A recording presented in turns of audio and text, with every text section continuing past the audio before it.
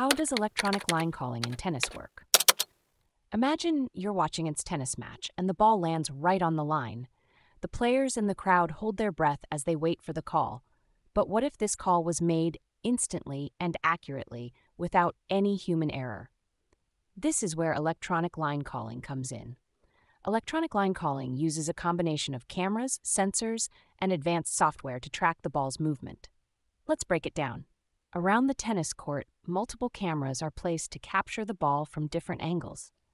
These cameras take high speed photos of the ball as it moves, creating a detailed 3D model of its trajectory. This 3D model is then analyzed by sophisticated software that determines whether the ball landed inside or outside the court lines. The system is so precise that it can make decisions in real time, often faster than human line judges. Another system, like Zenniz, uses a unique dual tracking technology that combines visual and auditory data. It employs sound sensors around the court to analyze the sound waves generated by the ball's impact and the player's movements. This audio triangulation helps create a real time map of the court, ensuring accurate line calls. In the case of Hawk-Eye Live, which has been used in several major tournaments, the system detects the ball's movement and announces calls like out, fault, or foot fault through a pre recorded voice. This eliminates the need for on court line judges, making the game more efficient and accurate.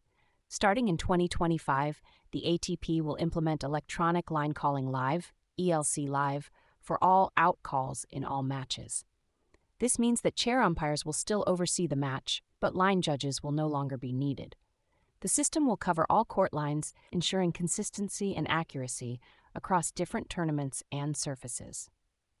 While electronic line calling is not perfect and can occasionally malfunction, it significantly reduces human error and speeds up the game. It's a technology that's here to stay, making tennis matches fairer and more enjoyable for players and spectators alike.